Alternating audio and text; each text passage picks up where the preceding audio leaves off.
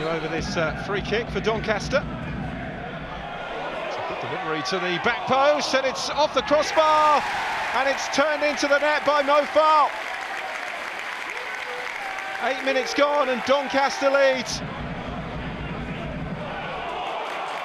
So a surging break forward by Olowu.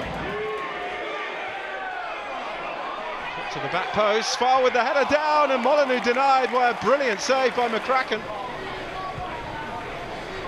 Top here, Doncaster, they're well worth the lead. Farl makes his way into the box again.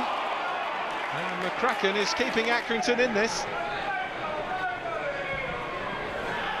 Swinging corner, Farl with the header away. Back into the uh, danger zone though. Andrews and Accrington level. Hold on a minute. Conversation with the assistants. I think there may have been a handball in there, and the goal won't count. March forwards.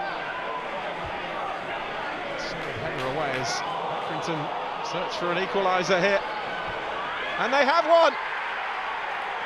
Shaun Whalley makes it 1-1 with 16 minutes to go. Beautiful finish. Has to throw.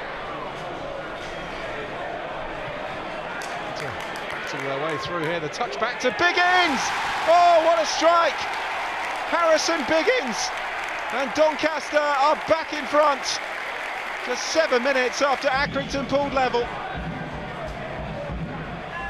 Corner whipped in. Oh, and Seamus Conneely is there. And Accrington level again. It's 2-2.